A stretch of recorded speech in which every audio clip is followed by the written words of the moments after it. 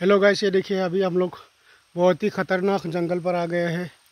ये देखिए, बहुत ही सुनसान है ये।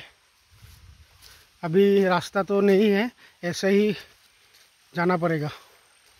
और ये देखिए, पाइप से पानी लीक हो रहा है। इधर से डायरेक्ट वाटरफॉल है आगे में तो वाटरफॉल से लोग ये पानी का कनेक्शन दिया है, ये देखिए।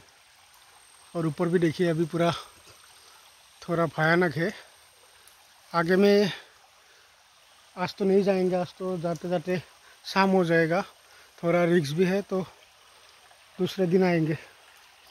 आज के लिए इधर से चलता हूँ। ठीक है बाय बाय